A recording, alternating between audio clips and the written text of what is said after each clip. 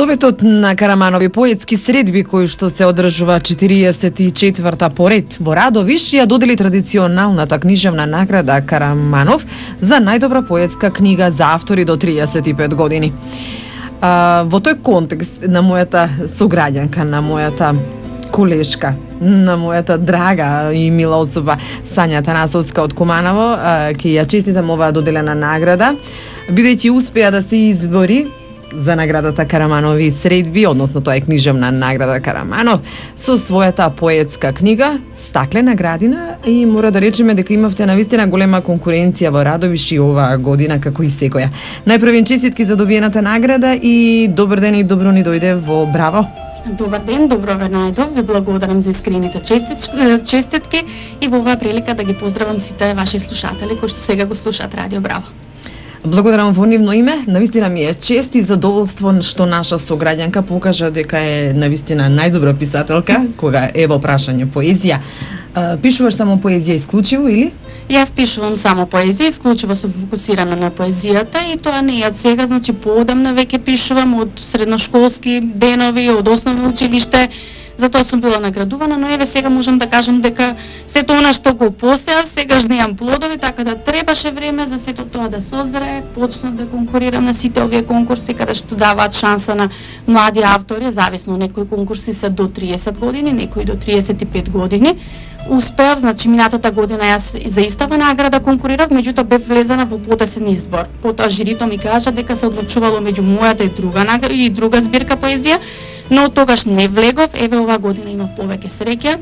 Конкуренцијата не беше мала, како што веќе беше кажано дека беа во игра 15 ракописи за печатање на збирка, така да е, наградата мене ми припадна и мило ми е што е така.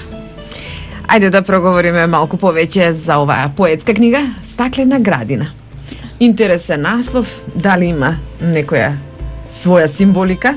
Па јас сакам книги кои што имаат впечатлив наслов, сакам кога ќе го слушне име, името на книгата, на, на читателот, на било кој човек да му остане во сеќавање.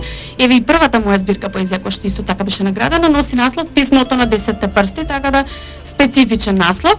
Стаклената градина, едноставно целото свое творештво го замислив како една стаклена градина каде што човек може да влезе и да си бира песни. И е, има еден стих конкретно, значи тоа е извадено од една песна, од еден стих и така решивме mm -hmm. насловот на книгата да биде Стаклена градина. Збирката содржи 54 песни. Тоа е исто како и двете предходни, од кои што едната ми е во печатана верзија, другата е во електронска верзија поставена на Фондација Македонике каде што може да да влезат по електронски пат и луѓето да ја читаат.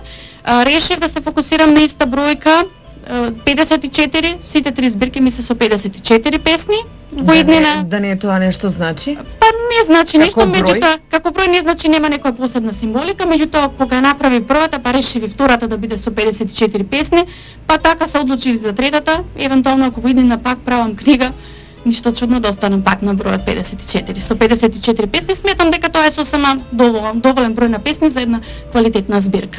И еве тоа нека биде некој вид на предпознав не, на предпозназливост, да. нешто Точно да се препознаваш по нешто. Еве 54 и да. готово. Да. Кој ти помогна во издавање на стаклена градина? Издавањето значи комплетно е преку советот на манифестацијата, тоа всушност е наградата.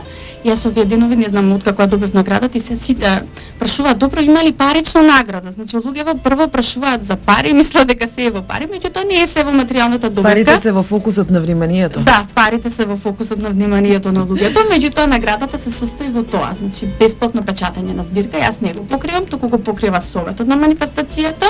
Станува збор за 300 примероци, од кои што 200 примероци остануваат во нивна собственост, тие ќе ги распределат, ќе ги подаруваат на библиотеки, на училишта, нели? Други ве стоки добивам јас, така да дел од нив веќе се испратени во библиотеките низ Македонија. Дел од тие книги испратив за македонците во Албанија, кои што таму живеат, кои што учат, пишуваат на македонски јазик. Планирам да испратам и за Република Србија, таму каде што има општини каде што се зборува конкретно една општина каде што се зборува македонски јазик, за понатаму ќе видиме што како како ќе се одвиваат работите. Прекрасно. А, значи стаклена градина можеме да ја најдеме во библиотеката Тане Георгиевски да, во Има веќе примероци, обработени се најверојатно и веќе може да се изнемуваат тие книги. Така, еве ги упативме нашите слушатели каде може да ја прочитат Да. збирката поезија. 54 песни, на која тематика се пишува? Па тоа често ме прашуваат на која тема. Има поширок спектар на теми. Значи со различни димензии. Различни теми, значи јас лично конкретно јас многу читам, читам книги и јас не сум сретнала човек што пишува да не пишува за љубов, така да јас таа тема не ја изоставив, нели пишувам за љубов, пишувам за времето во кое што живееме, за односите помеѓу луѓето, за за пријателството, за се буквално што не обкружува. Значи, меѓутоа, да кажам дека во оваа збирка имам и некои песни каде што алудирам и на патриотизам индиректно. Со тоа сакав да дадам една нова димензија на оваа книга, да направам поразлична, да биде тоа еден плюс за мене.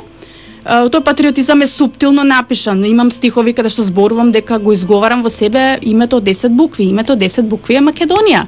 Каде што спомнувам црвена и жолта боја, каде што спомнувам цркви и манастири, значи алудирам пак на Македонија. И тоа не е направено случајно, туку тоа го направив намерно додека пишував. Дури имам и песни каде што пишувам значи за љубовта меѓу маж и жена, за љубов меѓу кон партнерот и вметнувам еден стих каде што го ставам читателот во дилема дали јас пишувам за таа љубов или пишувам за љубов кон татковината. Сега кој како ќе свати и како ќе толкува. Е, Наменски го вметнав тој патриотизам затоа што јас сум присутна на можеби едно десетина страници во регионот каде што објавувам на македонски јазик, на бугарски, српски и хрватски сајтови, каде што нашиот јазик го разбираат и сакав едноставно таму да кога ќе чита да им остане во осеќавање дека читале македонска лирика. Јас можеби нема да се сетат на моето име, можеби немаат време да читаат мојата биографија, меѓутоа ќе се сетаат дека читале нешто од Македонија. Така е. Сања, дали подготвуваш некоја нова книга? Па јас во меѓувреме пишувам, тоа е процес кој што не застанува. Останувам активно да А не те прашав колку време ја пишуваше Стаклена градина? Па стаклена градина е резултат тоа се значи песни кои што се пишувани во последниот период, во последниве две години, две години или евентуално Најново и најтазе. Најново и најтазе, точно, меѓутоа имам во меѓувреме и материјал за половина збирка можам да кажам, значи кои што се нови песни кои што никаде не се објавени, но останувам да ги следам тие конкурси. Ако некаде успеам повторно би испечатила повторно книга на тој начин преку добивање на награда. А, мојата најава беше дека си наша сограѓанка, откривме кумановчанка Сања Атанасовска, а, нагласив и колешка. Да.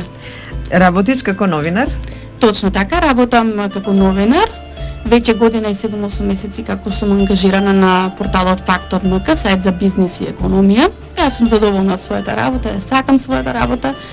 Mm -hmm. Поезијата ако е хоби, да кажеме, професија ми е новинарството. Ја сакам својата работа затоа што е динамична, креативна.